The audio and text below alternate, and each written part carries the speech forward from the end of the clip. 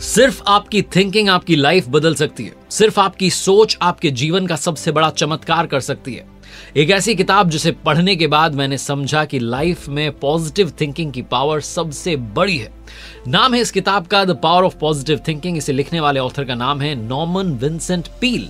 और ये किताब अपने आप में बेस्ट सेलर है। इंटरनेशनली इस किताब को सबने पसंद किया है। इस किताब में बहुत सारे चैप्टर्स हैं, लेकिन मैंने सिर्फ़ दस शॉर्टलिस्ट किए जो आपको बताना चाहता हूँ और आप तक वो लर्निंग्स पहुंचाना चाहता हूँ जो आपकी लाइफ बदल सकती हैं। लर्निंग सीरीज़ देख रहे हैं आप, सीखोगे नहीं तो जीतोगे कैसे? मैं हूँ आरजे कार्तिक। आइए शुरू करते हैं chapter one the power of positive thinking जो बुक है, ये आपको स्पिरिचुअल प्रैक्टिस भी सिखाती है। बताती है कि कैसे आप जो सुपर नेचुरल पावर है जिन्हें सर्वशक्तिमान कहा जाता है, उनसे बात कर सकते हैं और उनके माध्यम से अपने जीवन में बदलाव ला सकते हैं। सबसे पहला चैप्टर जो है, उसके बारे में बात करता हूँ। द पावर ऑफ़ प्रेयर जो प्रार्थना की शक्ति है, उसे पहचानिए।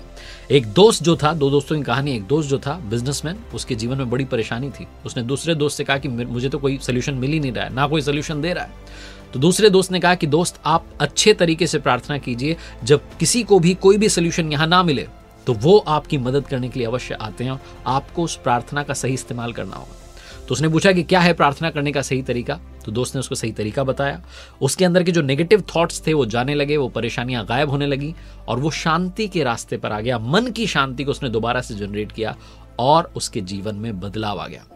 जो राइटर हैं, जो ऑथर हैं इस किताब के, उन्होंने कुछ ऐसे नियम बताए हैं, जिनके ज़रिए अगर आप जो हैं, अपनी प्रार्थना के तरीके को बदलना चाहते हैं और अच्छा करना चाहते हैं तो कर सकते हैं। जैसे कि अगले दिन के 24 घंटों में से कुछ मिनट निकालिए और सिर्फ़ ऊपर वाले के बारे में, परमात्मा के बारे में सोचिए। ये प्रक्रिया आपको और स्पिरिचुअल बनाएगी। दूसरी बात, अगर आप किसी बात के लिए परेशान है तो अपनी आँखें बंद कर लीजिए और मन में विश्वास कीजिए कि वो मेरे चारों तरफ़ हैं और परमात्मा को आप महसूस करना शुरू कीजिए। तीसरी बात, जो सुपर नेचुरल पावर गॉड अल्लाह भगवान अलग अलग नामों से लोग उन्हें पुकारते हैं, आप सिर्फ़ उनके साथ ईमानदारी से कनेक्ट कीजिए, प्रार्थना करना शुरू कीजिए, वो आपकी ज़रूर सुनेंगे। चौथी बात, कभी ये मत सोचिए कि मैंने क्या मांगा और भगवान ने मुझे क्या दिया, ऊपर वाले ने जो भी आपको दिया, उसके लिए उनका धन्यवाद कीजिए। कहिए आपका शुक्रिया है, आपका शुक्रिया है। आपके जीवन में बदलाव आने लगेगा।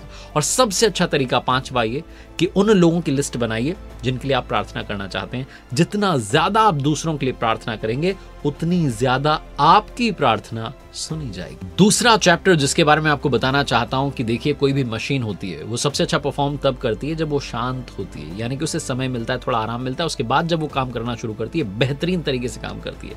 हमारा दिमाग भी एक मशीन है। और जब ये शांत रहेगा तो पावर जनरेट करना शुरू करेगा। ऑथर कहते हैं कि एक शांत मन जो होता है, वो एक तनाव से भरे हुए मन से कहीं ज़्यादा शक्तिशाली होता है। अगर आप बहुत ज़्यादा स्ट्रेस वाली लाइफ जी रहे हैं तो अपने थॉट्स को बदलिए, मन को शांत कीजिए और अपने विचारों को बदलने के लिए थोड़ी सी मेहनत करनी होगी। अपनी सोच को पॉजिटिव करना होगा। बहुत आसान सा तरीका है। अपने मन से जितने भी नेगेटिव विचार हैं, डर है जेलसी है, किसी के लिए हेट है रिग्रेट है, ये सारे इमोशंस को आप निकालिए और ऐसा आप दिन में कम से कम एक से दो बार कीजिए। ऐसा करने के बाद आपके मन में दोबारा से नेगेटिव विचार नहीं आएँगे। आपको सिर्फ़ खुशी मिलेगी और अच्छा सोचना आप शुरू करेंगे।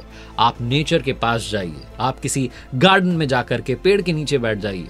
और सिर्फ़ उस पेड़ के वहाँ जो एक ताज़ी हवा, सुगंधित हवा, जो शांत हवा बहती है, उसको महसूस करना शुरू कीजिए। आँख बंद करके पंद्रह मिनट सिर्फ़ वहाँ बिता लीजिए। आपके जीवन में पॉजिटिव चेंज आएगा। तीसरे चैप्टर की बात करते हैं कि आप लगातार उस एनर्जी को कैसे बरकरार रख सकते हैं, निरंतर आपके अंदर ऊर्जा कैसे आ सकती है। तो ऑथर कहते हैं कि जो भी आप सोच रहे हैं, उसका आपकी बॉडी पर बड़ा इम्पैक्ट पड़ रहा है। अगर आपने मान लिया कि मैं थका हुआ हूँ तो आपका शरीर इस बात को मान लेगा। आपके मन के अंदर आप विश्वास भरना चाहते हैं तो एक एनर्जी जनरेट करनी होगी। अपने आप को एनर्जी से भरने के लिए आप मंदिर जा सकते हैं चर्च जा सकते हैं, मस्जिद जा सकते हैं, गुरुद्वारे जा सकते हैं और जाकर के वो जो परमात्मा से शक्ति आपको मिलेगी, ऊपर वाले शक्ति मिलेगी, उसे लेकर के आ सकते हैं। क्योंकि जो एनर्जी है वो ऊपर से ही हम तक पहुँच रही है, चाहे वो इलेक्ट्रिसिटी की पावर हो या स्पिरिचुअल पावर हो जो एनर्जी है, उसे जनरेट करने वाले वही हैं, जिन्होंने इस प्रकृति को, इस ब्रह्मांड को बनाया है, जो इसके रचयिता है। तो आपको बस उस एनर्जी के कांटेक्ट में आना है, जो कि इस एनर्जी को, दुनिया को चला रही है। चौथा चैप्टर कि आप अपने अंदर हैप्पीनेस कैसे क्रिएट कर सकते हैं, खुशी कैसे आप जनरेट कर सकते हैं। अगर आपसे पूछूँ कि कौन डिसाइड करेगा, आप खुश हैं कि नहीं है?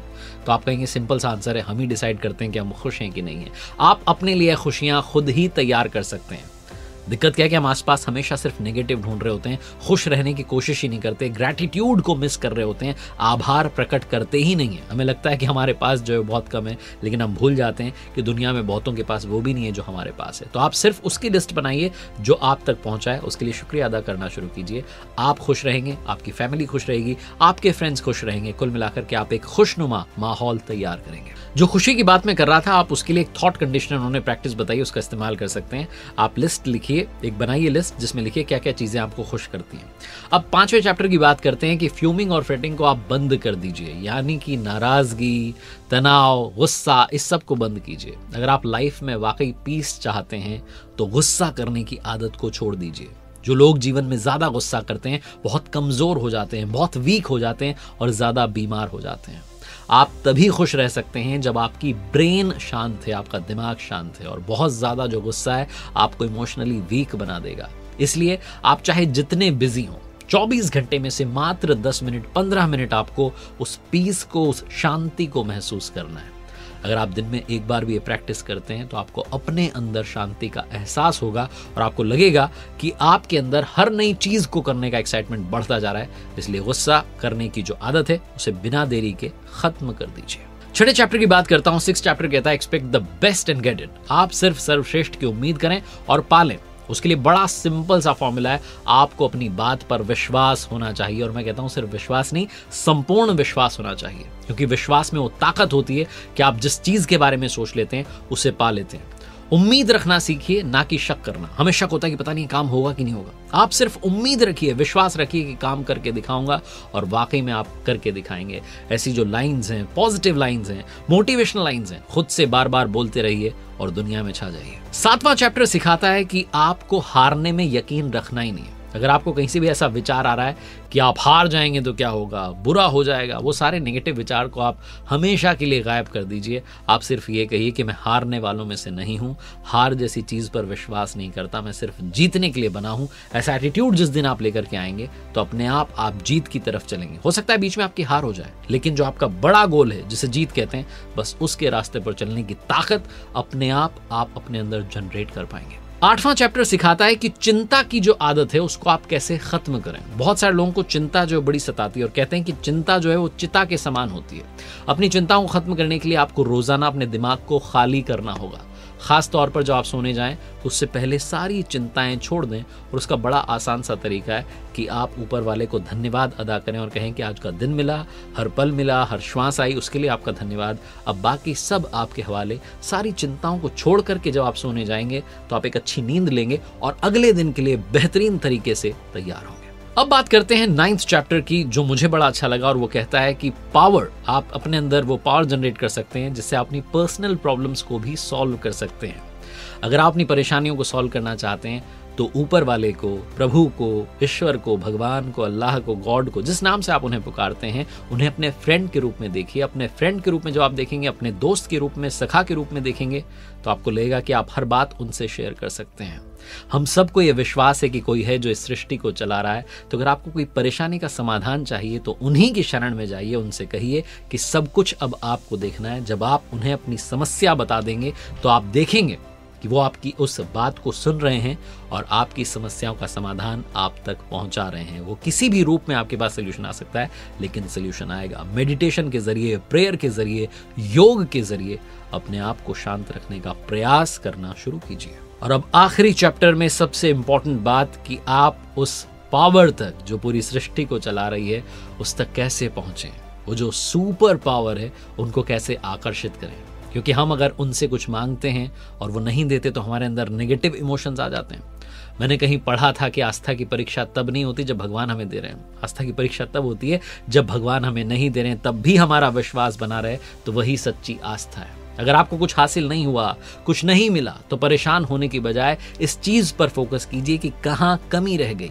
क्योंकि कमी शायद आपके प्रयासों में रह गई, आपकी प्रार्थना में रह गई। एक ऑप्टिमिस्टिक अप्रोच लेकर के आइए, एक पॉजिटिव अप्रोच लेकर के आइए और जब आप देखेंगे कि आप सब कुछ करने के लिए तैयार हैं तो हार क्यों रहे तो फिर इसका सवाल का जवाब प्रभु से मांगिए, वो आपको जवाब देंगे और बताएँगे कि आपने कहाँ कमी रख दी। आपकी तरफ़ से कहाँ कमी रह गई।